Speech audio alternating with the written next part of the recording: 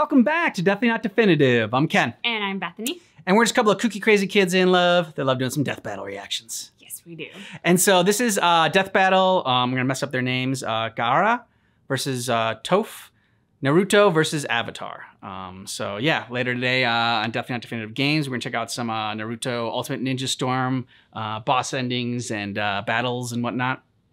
So if you want all of our death battle reactions, check out the description of this video. We got a playlist there for you. Bethany's gonna explain real quickly how to do death bet on this channel because it's a little bit different. Yeah, so we love to place bets on who we think the winner is going to be. So what we have at our disposal is money, Monopoly money. specifically Monopoly money. But what we do is we place a bet on who we think the winner is going to be with a specific dollar amount. And then whichever one of us has the most money at Thanksgiving gets to choose our cosplay outfits for New Year's Eve and New Year's Day. Mhm. So the way that we watch it is first we watch the first half of the video. They talk about their special skills, traits, armors, advantages, disadvantages. Then we place our bets. Then we watch the second half to see which one of us has the most money to walk away with.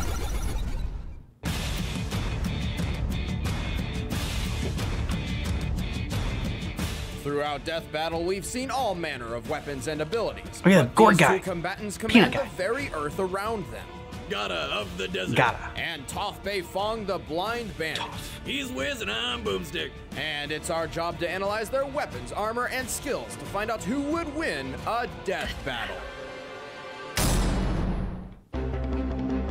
Gaara of the Desert is a short, skinny, pale stick of a kid, but he's also one of the deadliest shinobi in the world. He looks like a member of Green Day. Gaara is the son of the fourth Kazekage, leader of the village hidden in the sand. Born prematurely at the cost of his mother's life, Gaara was mm. destined for a childhood of depression and loneliness from the get-go. Yeah. Not even a minute old and already has a kill under his belt. Oh. Oh. technically he had a little help. Because, you see, as he was being born, his father was like, Hey, you know what would be awesome? Using ninja magic to seal a horrible monster in my son's belly to turn him into an ultimate weapon. Dad of the year. Jesus. The process was successful, and Gaara became a Jinchuriki, human beings who have powerful tailed beasts trapped within them. Gaara's beast was Shukaku, a giant tanuki with power over sand. I wanted Tanuki as a pet. They're so fluffy and adorable. You just want to hug. Holy shit! What is that?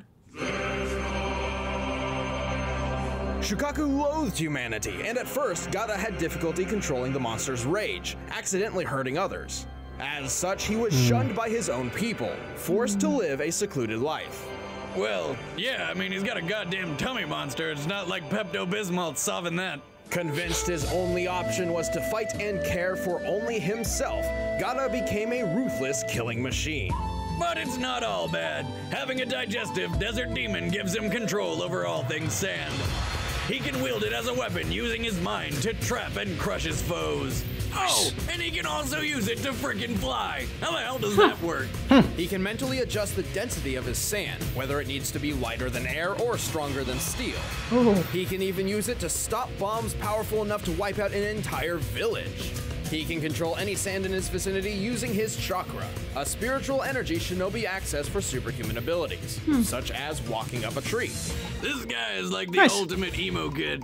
But I'm not gonna give him too much crap because he can use existing sand to crush the ground around him for even more sand.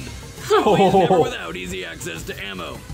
Despite this, he still carries a gigantic gourd of sand on his back.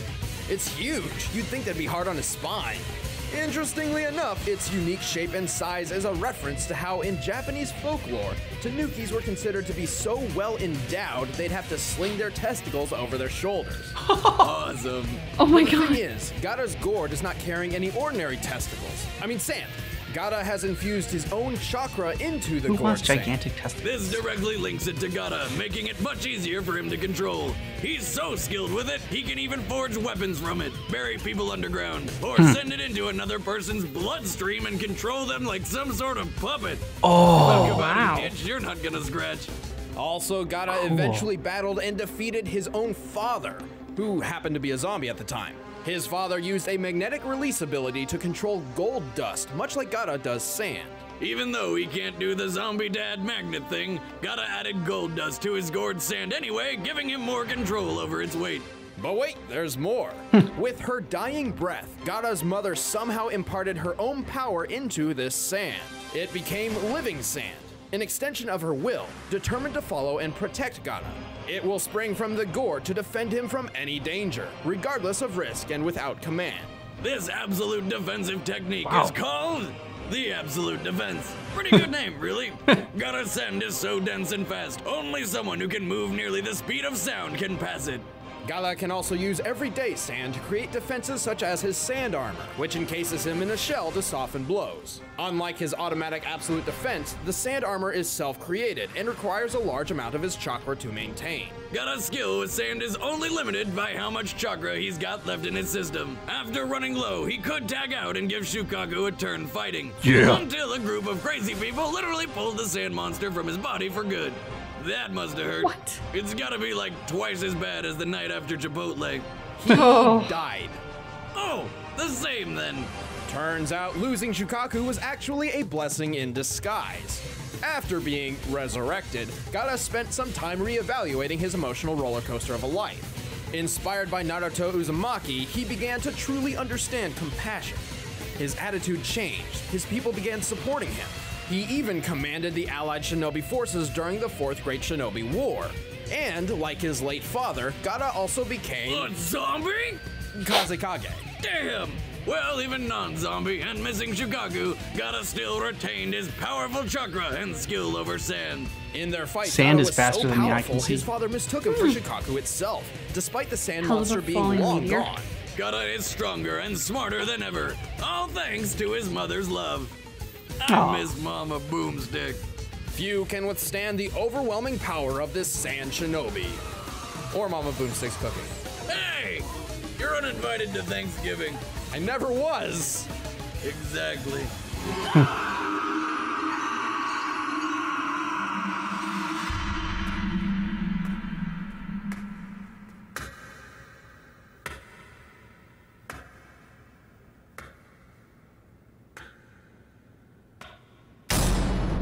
Okay. As the only child of the wealthy Beifong family, Toph was kept a secret from the rest of the world. Hidden away, she was pampered and guarded like a fragile child. Her parents were hopeful she could someday become a noble, respected member of Earth Kingdom society. But their hopes were pretty much dashed from the moment she popped out. See those faded whites? Yeah, Toph's completely blind. My daughter is blind. She is blind and tiny and helpless and fragile. Still, fragile is the last word that I would want to use to describe this chick. Frustrated by her parents' stubborn coddling, Toph ran away from home at the age of six and ended up losing her way in a cave. Until she was rescued by some giant badger moles. Yes, they are badgers. And they are moles. Imagine one of those things burrowing into your home. What kind of pest control do you even call for that? Oh, wait, I know. Fire. Like Toph, badger moles are blind, so they took a liking to her. Well, how the hell would they know? And as the original artists of the craft, the badger moles began her training in the art of earthbending. These giant varmints taught Toph how to manipulate rock and stone. Using movements similar to the Chu Gar praying mantis martial art, Toph can telekinetically throw, grow, shrink, and alter Earth in any conceivable way, making for some pretty down to earth attacks and defenses. The badger moles also taught Toph how to see.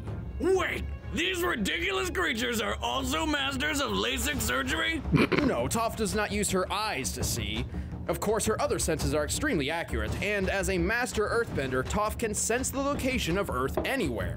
Even more impressive, though, the badger moles navigate their tunnels using an earthbending technique known as the seismic sense, and Toph quickly picked up on this talent. It's kind of like sonar, detecting the exact location and movement of a person or object through their interaction with the ground. Cool. I feel the vibrations in the earth, and I can see where everything is. You, that tree, even those ants. She feels every movement, every footstep, every heartbeat, so precisely she can even tell if a person's lying.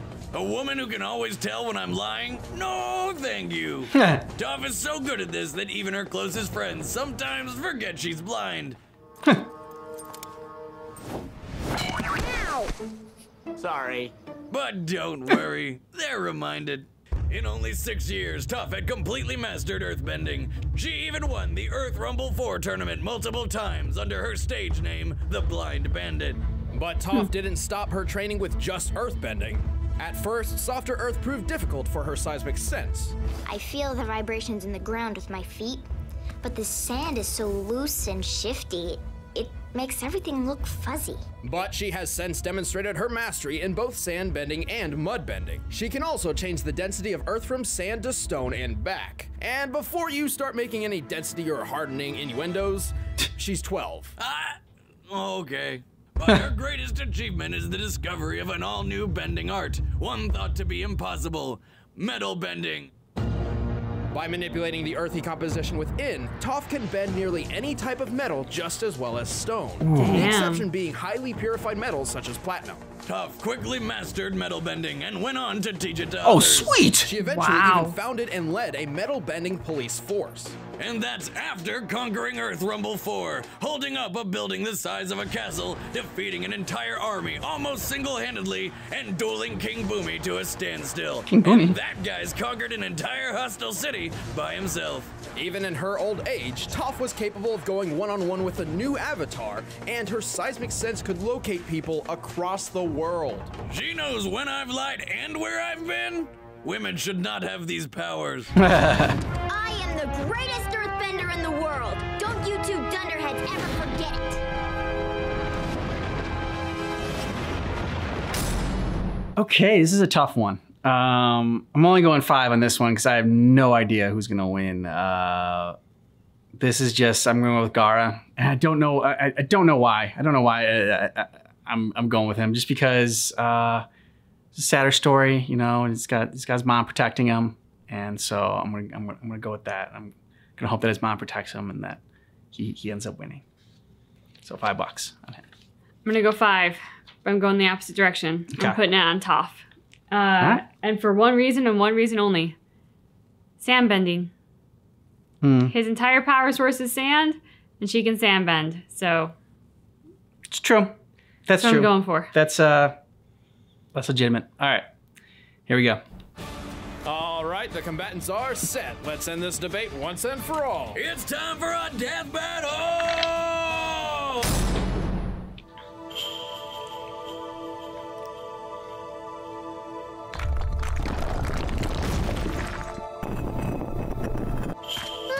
Talk about a rough ride. You do not belong here. This is sacred ground. Leave. Oh yeah, tough guy? Make me. Hmm.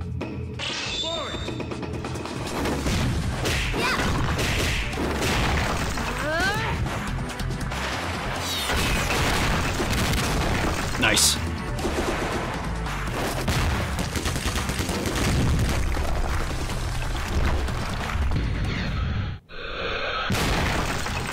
Interesting. She commands stone as fluently as I control sand. I can tell you're using your sand to smash up the ground underneath us for more ammo. Pretty smart for a sandbag. Too bad I'm gonna kick your butt before you can use any of it.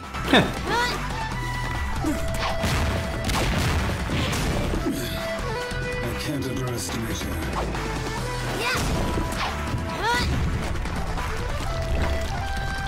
I need time.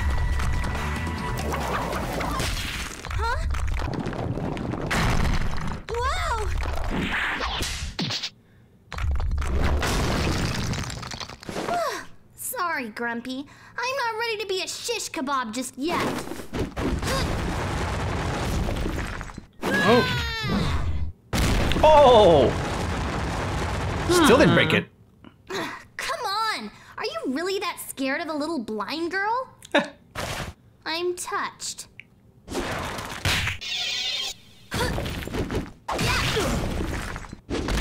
Ooh, knocked him out of there. Your eyes. Those are not the eyes of loneliness, like mine. They are blank. Impressive insight, Gloomsville. I'm digging the whole wearing sand thing, though. That's new.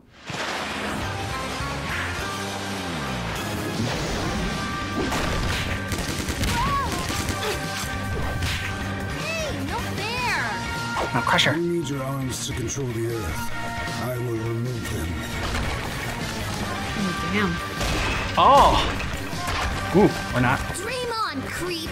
It'll take a lot more sand than that to take me down. That's the plan.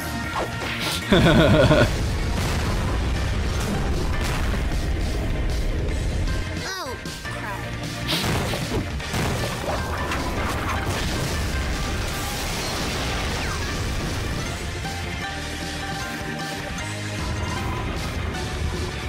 Sand coffin.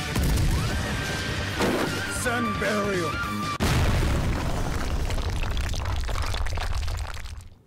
It is done. No, it's not. Jeez, I almost felt that.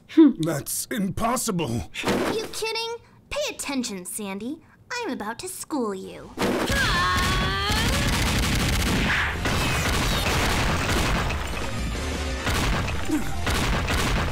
oh, not looking good.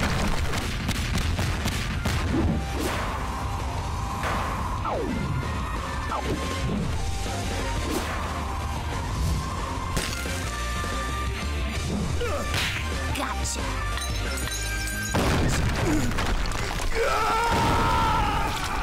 Oh. That's how it's done. Damn. Weasel! Why did another anime character have to lose? Yeah, but here's why. Gaara's sand is monstrous, and its speed and power could easily obliterate most foes. But with Toph, it's another story. Really? She's friggin' blind for God's sakes, and he can fly! Oh ho ho! In the official behind the scenes extras of the Avatar Book 2 DVD, we found this. Toph can feel the earth even if it isn't connected to the ground. Toph is tough, but her real strength lies in her precision and technique. With her earthbending and seismic sense, she could see Gaara's attacks coming the instant they began, regardless of if he was in the air. While ah. Gaara's chakra infused sand is controlled by his late mother, it's still sand. Just like in an earthbending duel, Toph was able to influence it long enough to misdirect or block attacks. Also remember, Gaara added his father's gold dust to the mix, giving Toph two different bending options just in case. Unlike platinum, gold contains traces of iron and copper, and can be metal bent. To top this off, Gaara keeps himself covered in his sand armor, so Toph could always sense where he was. And it's specifically stated that the sand armor uses up large amounts of Gaara's own chakra, not his mother's sand. So, when he ran low on chakra, it became difficult to maintain. Thus, Toph had no problem turning Gaara's greatest defense into his worst weakness. Gaara couldn't stand up to Duff. I know you're floored. I really ground that one in, didn't I? what can I say? It's my earthly delight.